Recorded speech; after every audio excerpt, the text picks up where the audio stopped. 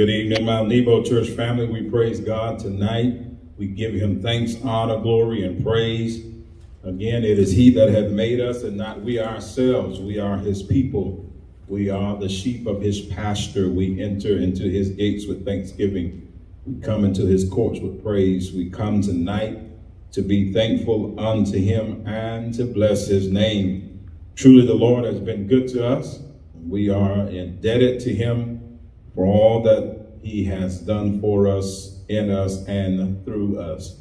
Uh, nothing that we are capable of doing on our own accord, but God empowers us and he gives us the wisdom, the knowledge to perform whatever task he has laid before us. Tonight, I want to continue uh, our series that we started here. Uh, we talked a little bit about last week life overflowing, life overflowing, and we utilize Ephesians chapter 3, uh, verses 19 through 21 as sort of our foundational passage. Uh, and so we want to pick up tonight uh, somewhat where we left off last week, and certainly, hopefully, you are enjoying this series as as I am, uh, and hopefully, you're picking up something new that can be applicable to your walk with Christ and your everyday living. So let's pray, and then we'll begin for tonight. Father, we thank you once again for loaning us this time together as we bask in your glory and in the richness of your holy divine word. Father, it's in you that we live, move, and have our being. We are absolutely and completely nothing without you. Now, God, take us and make us and mold us according to thine own election. For we are nothing more than potter, clay in your hand, who are you are the potter. And so, Father, we thank you now for being our master. We thank you now for being our maker. We thank you now for being our all in all. Take control of this lesson. Let it be what you would have it to be tonight for the glory of your name and the advancement of your kingdom and the edification of your people. This we ask and pray in Jesus' name. Amen. Life overflowing. Actually, tonight I want to change the topic just a little.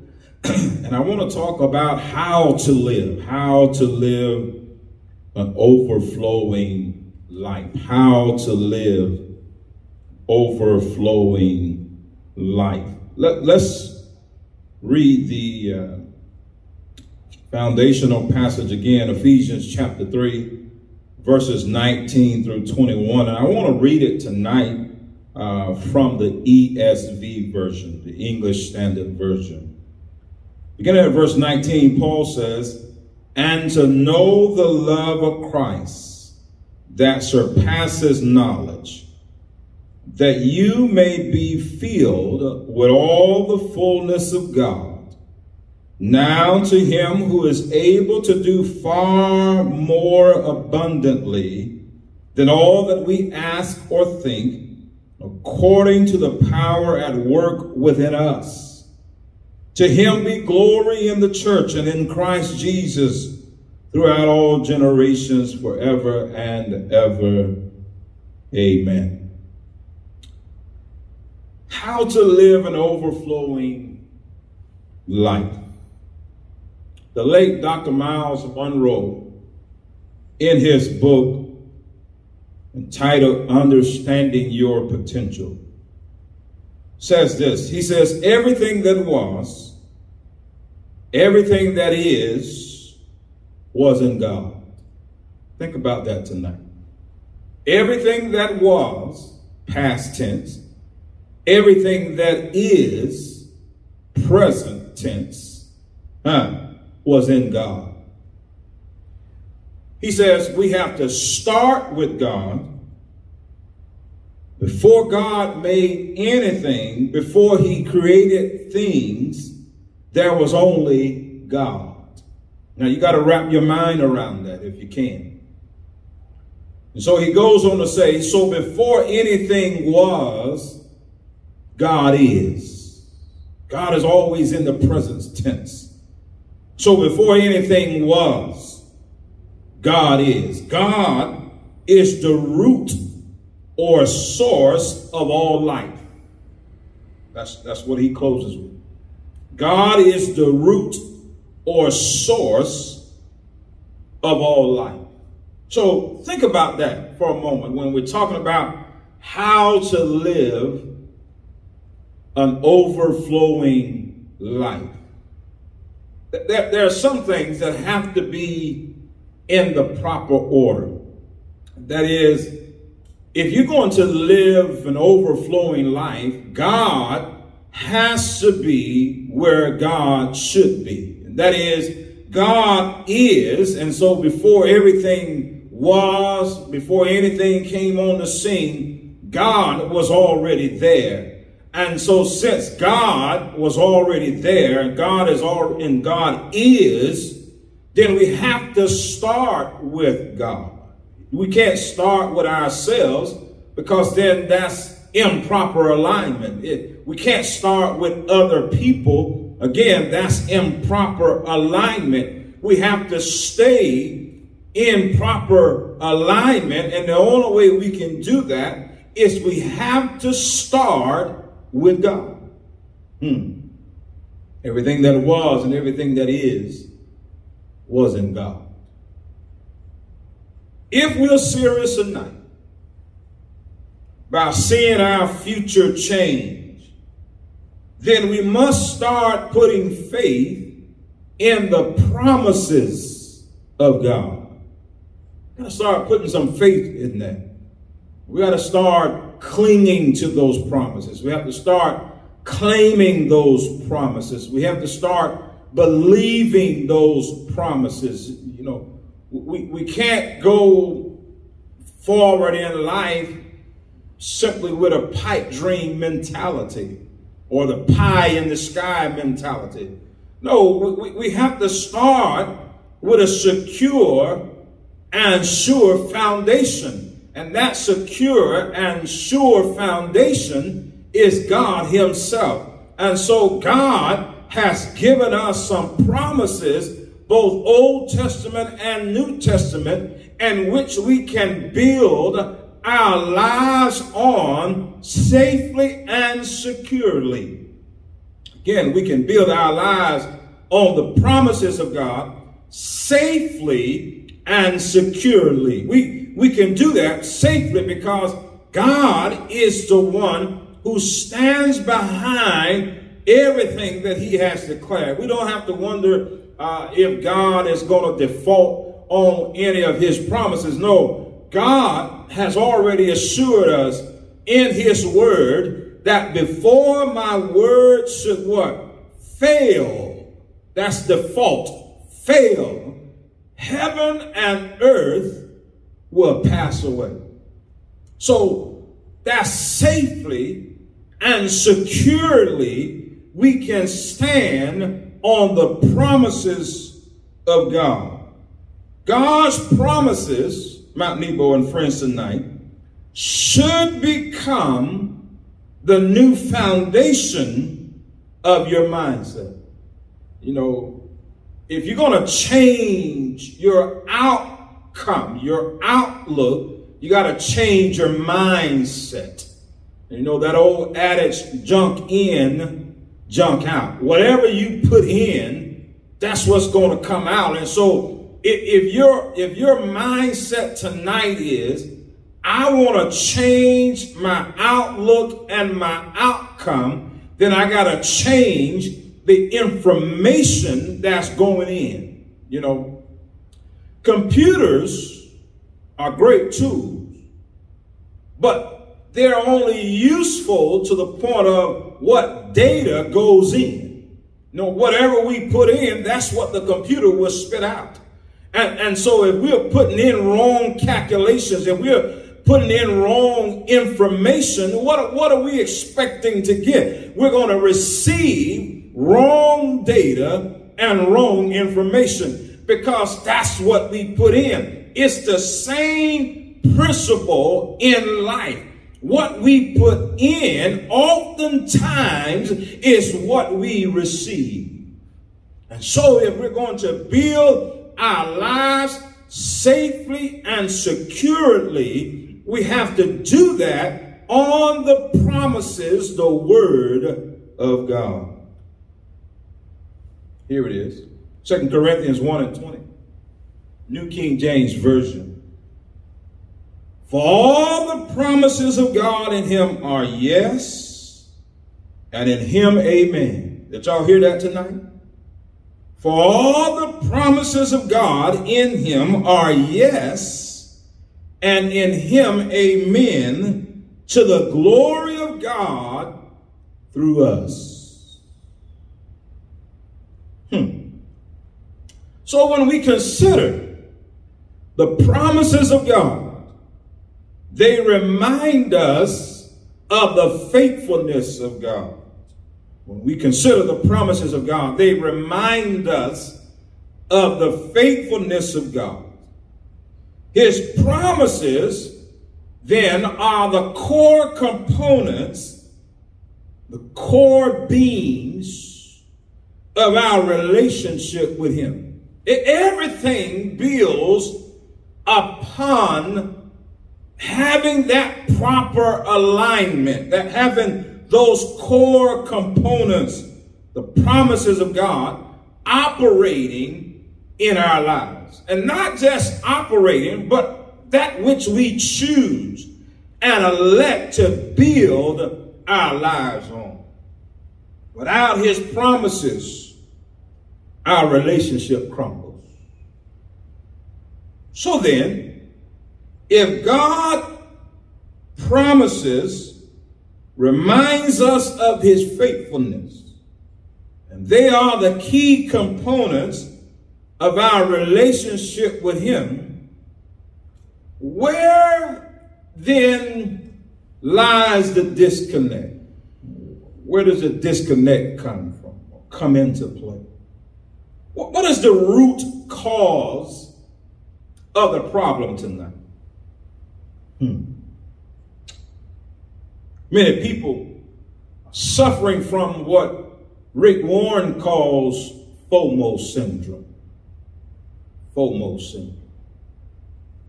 He says the FOMO syndrome is the fear of missing out.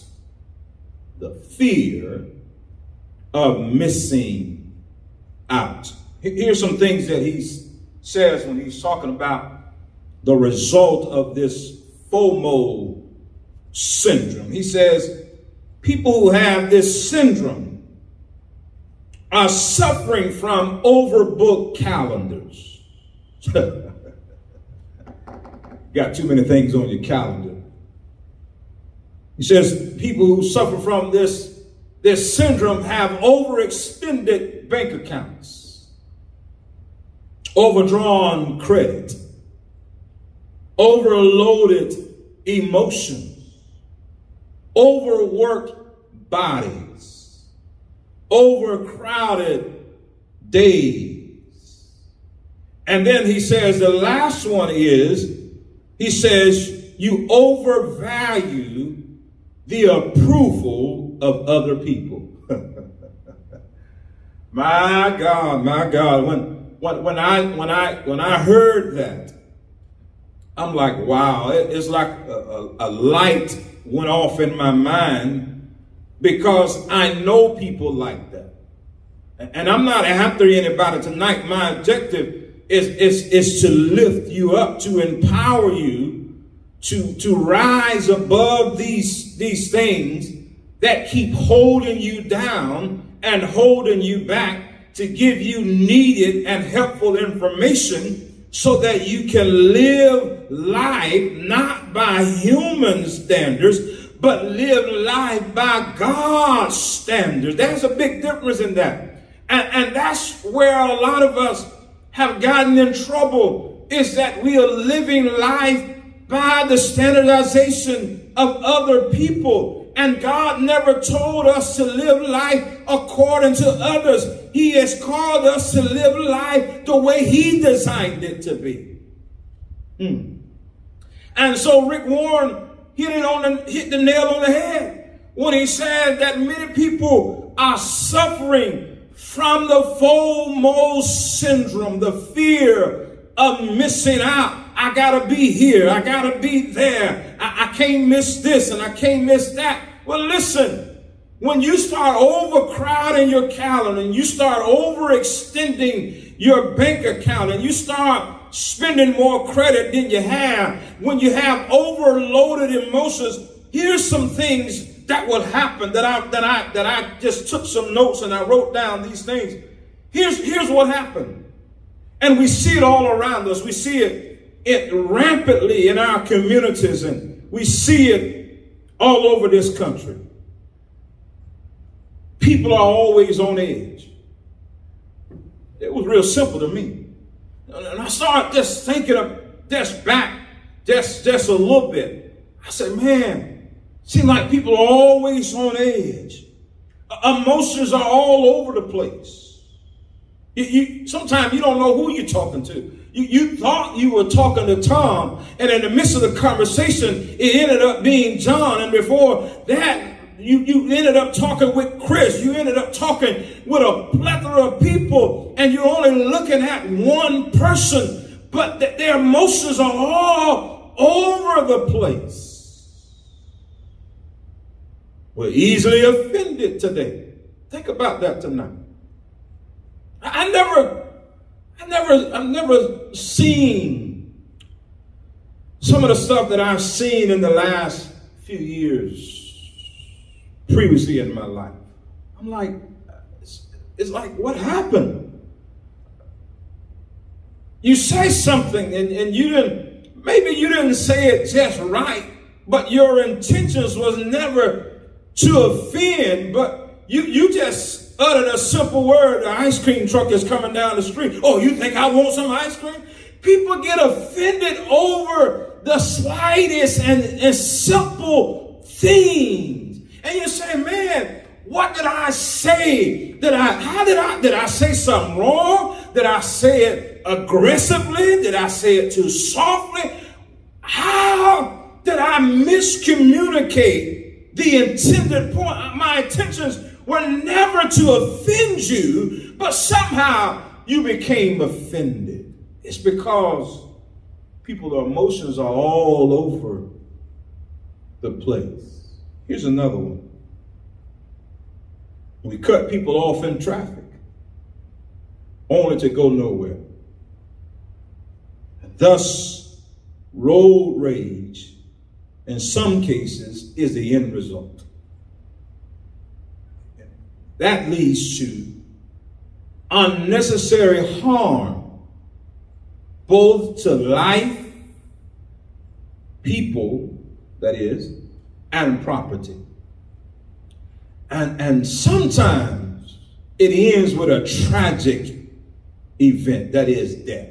Somebody ends up dying all because someone was a little too impatient and they cut off somebody else, and that person already on edge themselves, and that sparked something in them that now they're chasing after the other person and now they're side by side and now cars and vehicles come together and now people stop they get out of the car knives guns or whatever and now all because of what? Our our emotions are all over the place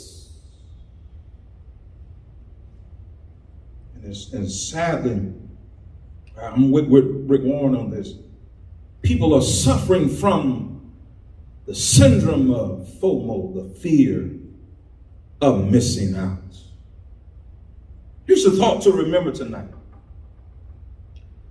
Don't allow your life to be shaped by the presence or the absence of things.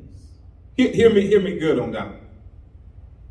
Don't allow your life to be shaped by the presence or the absence of things. Life is more than things. Life is, is more than uh, a car. Life is more than uh, a house that you can't really afford. Life is more than material things because if our life is simply based, based on material things, we are building our lives on the wrong things. Building our lives on the wrong thing. Life is more than that. Because there's going to come a point in time, I, I won't call the name of the person who said this, but but but somebody, there was a conversation one time with some fellas and they were talking and uh, they said, man, you, I know you you got to be in good shape. You you retiring? Said, yeah. You know, I've been blessed to be in a good financial situation. But here's the thing that I stuck a pin in that person said. They said, what good is money if you can't spend it? Think about that now. What, what good is money if you can't spend it? And my, and my takeaway was, what good is it if you can't really enjoy it? Now, sickness and disease have come into your body and and you got money, but you you you too sick to travel. You you got money, but you don't care about buying another suit or another dress. You you got all the money that you need, but but you don't care about about all of these other things because now life has come to a place that money cannot buy good health. Talk to me tonight. Yeah. There are some things, beloved, that money cannot buy. There's a lot of people who got, got money, but they don't have any peace. There's, a, there's people who have lots of money, but they don't have any joy. That there's people who have lots of money, but they don't have love. I'm talking about real love, true love. They got a lot of people around them, but that's not love. That there are some people, and I told you some time ago, there, there are people who will hang around simply for what they can get out of you. And if they think that they can benefit from being around you, they'll hang around you, but they're not in love with you. Right, talk to me tonight. So, FOMO, fear of missing out causes us to have a disconnect in our relationship with God. God is trying to lead us and guide us in a certain direction, but, but we don't want to go that way because we're, we're focusing on what the world says uh, we ought to be. We, we're so caught up in what the world says it's popular and hip and in. And, and, and if you're going to be considered to be a part of the in group and the, and, and, and, and the person who's on the move and doing things. This is what you got to do. And here's where you got to be. Here's what you got to drive. Here's where you got to live. No, you, you got to do this thing the way God has designed it to be. Mm. Here it is Colossians 3 and 15, Amplified Version. Let the peace of Christ the inner calm of one who walks daily with him. Be the controlling factor in your hearts, deciding and settling questions that arise. To this peace, indeed, you are called as members in one body of believers. And be thankful to God always. There are two basic methodologies, if you will, to all of life. Doesn't matter uh, where you sit on the spectrum. It's really two basic methodologies of all of life. That is deficiency or lack, or excess or an overflow. Either, either you're in the mindset, the mode of, I don't have enough, or you're in the mode set of I, I have enough, and in fact, if I'm honest, I have more than enough. Stay with me.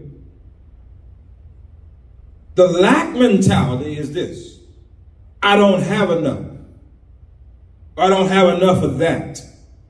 I need more. I need more of this. I need more of that. and such that we have this mentality that I'm lacking something. Huh. But the excess and the overflow mentality is God has more than I ever need. My, my, my. My, my late, my late Aunt Cassie, she was here tonight, she would say something to us like this. She would say, He's the God of more than enough. Think about that. When we think about God and we think about who God is. He is the God of more than enough. There's not a single need in your life or my life tonight that God has not already met or cannot meet. That, that's not a need in your life that God has not already met or that he cannot meet. Whatever you have a need for in your life tonight, God can meet that need. But we got to be willing to allow God to meet that need. We got to do it God's way. We, we got to allow God to take control. We got to allow God to be the pilot of this plane, not the co-pilot. Many of us, we want to sit in the pilot's chair and put God in the co-pilot's chair. No, that's reverse thinking. That, that's wrong thinking. God has to be the pilot, the conductor of the train. Here it is. Very familiar. Psalm 23. We, we read it, we quote it. Uh, most of us can quote it without even opening up the Bible. Verse number one. The Lord is my shepherd, I shall not want. You read it too fast. The Lord is my shepherd, I shall not want. That's not a deficiency mentality right there. No, David is not talking from a lack perspective. David is talking from the excess, the overflow mentality. David says, everything that I need, God supplies.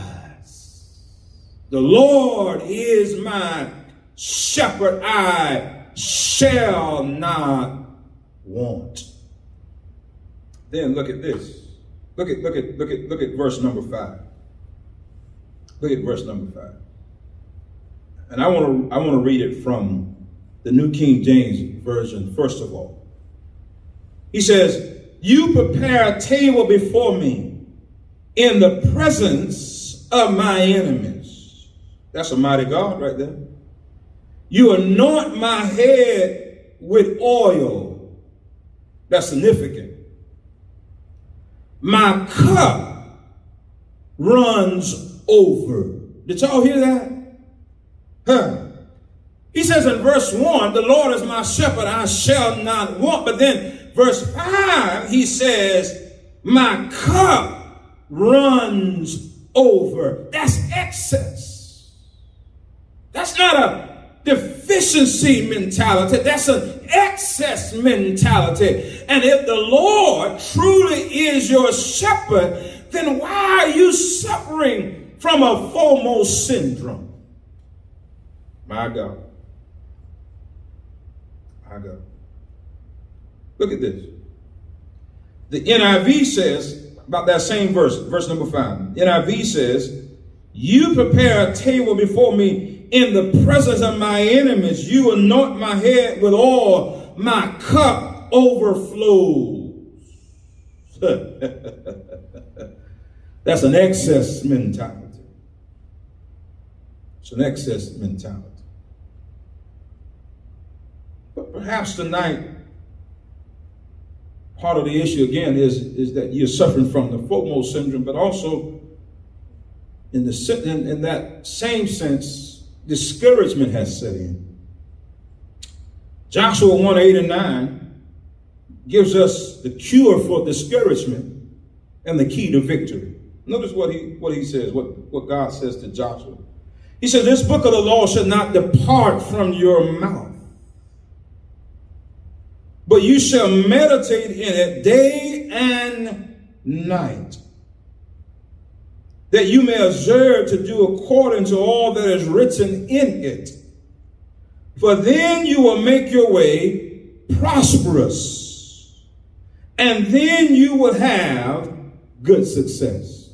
Did y'all catch it? Have I not commanded you?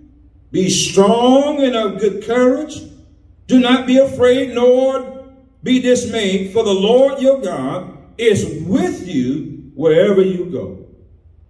Cure for discouragement and the key to victory. Cure for discouragement and key to victory is what he says in the opening. Don't allow the word of God to depart from your mouth. But you gotta what? Meditate on it day and night. That that that that that reminds me. That reminds me. That reminds me of Psalms 1 and, and thinking about that. Let's let's real quick. Let's real quick. Let's look at Psalms 1 real quick. Real quick, real quick. Psalms 1, New King James Version says, Blessed, ah, my God, look at it. Blessed is the man who walks not in the counsel of the ungodly, nor stands in the path of sinners, nor sits in the seat of the scornful. Watch this. But his delight is in the law of the Lord. That, that's, that's the same thing in essence of what God is saying to Joshua and what he's saying to us tonight. His delight is in the law of the Lord, and in his law he meditates day and night. Well, what's the results of that? What's the results of taking on that type of lifestyle and mannerism. Here it is, verse 3. He shall be like a tree planted by the rivers of water. Notice where he where, where he's where he's going to be planted. That's metaphorically speaking. That that his life will be what that brings forth its fruit in its season whose leaf also shall not wither, and whatever he does shall prosper. My God, tonight. Did y'all see the results of that?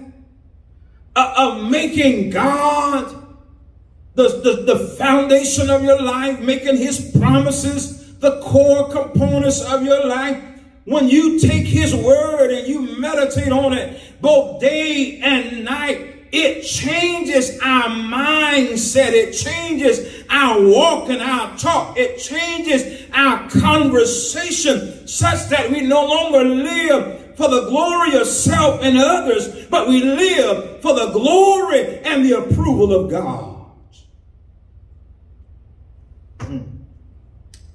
My God, I told you I was enjoying this this this this this, this series, and I, let me let me wrap it up with this tonight because I got more to say, but I keep running out of time. That's a good problem to have. That just means that we got more to go in this series. And I want to share with you from my heart because I want to see you live a life of overflow. And listen, I'm not just talking about dollars and cents or materialistic things. I'm talking about being a whole man and a whole woman. I'm talking about living life to the point where you're not pursuing things and that you don't feel that your life is void because you don't have certain things. No, my life is complete when I have God in my life. Those things, houses, uh, cars, and, and clothes, and jewelry, all, all that stuff is a byproduct because when I leave this world, when I leave this life, I can't take anything that with me. The only thing that's going to matter is do I have a right and proper relationship with the Lord Jesus Christ. That's all that's going to matter. He, he's not going to ask me about, well, what, what is your financial portfolio look like? No. No, I need to be rich in Christ Jesus. I need to be rich in his mercy. I need to be rich in his grace and in his word such that I know him in the pardon of my sin. That's all that matters tonight. I'm not knocking having things, but you got to have a proper order when it comes to having things. God has to be first. Let me say this, and I'll shut it down with this this, talking about discouragement and the key to victory. Don't give up during the waiting phase. Don't give up during the waiting phase. Don't misunderstand me when I say this. God is not in the business of overnight success. Now don't don't don't take that out of context. Quick miracles are possible. God can do it. God can do it in an instant. God can do it right now. But oftentimes, God will take us through the valley of waiting. And when we have to wait because our emotions are all over the place and we have this FOMO syndrome that we're missing out on something, we become impatient even with God. Don't give up before you see the results. Most important, don't give up on God. Here's what the writer of Hebrews 6 9 through 12 tells us tonight. He says, But beloved, we are confident. Did y'all hear that? We are confident of better things concerning you. Yes, things that accompany salvation though we speak in this manner. Listen to what he says in verse 10. For God is not unjust to forget. God is not unjust to forget. God is not unjust to forget your work and labor of love which you have shown toward his name, in that you have ministered to the saints and do minister. And we desire that each one of you show the same diligence to the full assurance of hope until the end.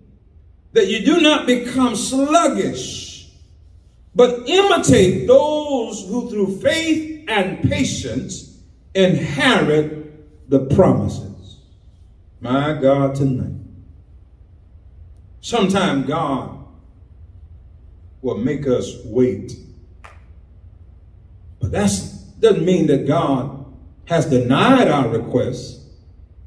God is in the process of maturing us and causing us to grow and properly develop. How to live a life of overflow. You got to get rid of that FOMO syndrome.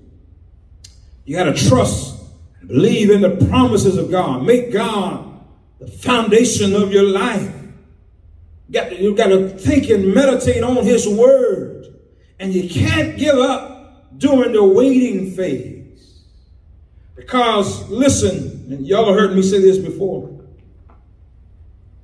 For those of you who are bakers or who even enjoy baked goods, you got to gather the ingredients. First of all, if you're going to make a cake, you got to gather the ingredients. Then you got to mix the ingredients. If everything is not dispensed at the same dosage level. Ah, talk to me tonight. Some, some things are half a teaspoon. Some, some things are, are four cups of this. And some things are one egg. Some other things might be two eggs and, and so forth and so on. So everything is not dispensed at the same dosage level, but all things are needed to make that cake. Whatever cake you're making, all of those ingredients have to be mixed in together, and then the cake has to be placed inside the oven at the proper degree. Talk to me tonight. Talk to me tonight. If, if, if, the, if, the, if you're making a cake and the recipe calls for baking that cake at 350 degrees, don't put it on 400. Uh, there, there, several dangers, and certainly great cooks and bakers know know this better than I. But but but but just off the top of my head, or what the limited knowledge that I know about cooking, when when you cook stuff at a higher rating than what it should be, that there are, there are a couple things that pop out to me. One, you cook it too fast, and and, and you burn the outside and the inside has, is not ready yet. yet. You, you, it looks like on the outside that is ready, but internally it still needs to be baked some more. But because you turned the heat up too high, you overcooked it. And so God, rather than overcook you, God will put you at 350, which means you gotta wait. Talk to me tonight. You, you got to wait till the time expires for the right cake to come out of the oven. Don't give up in the waiting phase. Hang in there. Trust the process that God is orchestrating in your life. I guarantee you tonight, you won't be disappointed in the outcome. God bless you, my Nebo friends. Till next time, how to live a life overflow. God bless you.